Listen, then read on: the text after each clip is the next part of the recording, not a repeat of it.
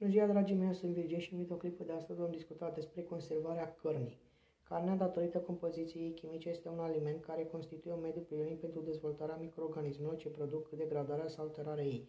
În carne există bacterii chiar din timpul vieții animalului, de asemenea se infectează în timpul procesului de prelucrare la abator, dacă acestea nu se fac corespunzător. Prin controlul igienico-sanitar se exclude carnea contaminată, totuși trebuie să se recurgă la anumite metode de conservare pentru a mări durata de păstrare a cărnii.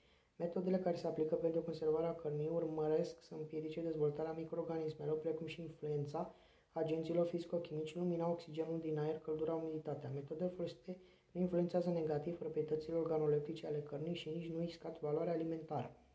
Cu stimă și respect față de persoane care mă videoclipurile, sunt Virgil, vă salut și vă doresc o zi cât mai frumoasă. Ne vedem data viitoare la un video videoclip. PS, nu uitați să dați like, dislike și dacă v-a plăcut un pic mai mult, dragii mei, abonați-vă.